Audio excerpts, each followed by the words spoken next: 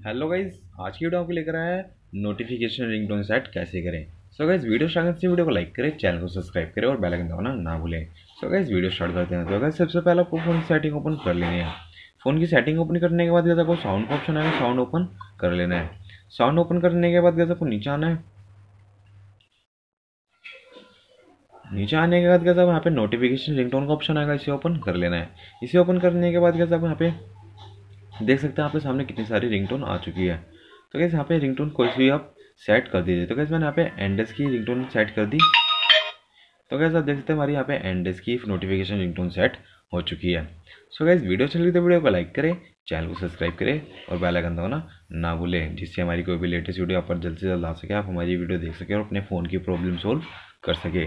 Thanks for watching video मिलते हैं next video में।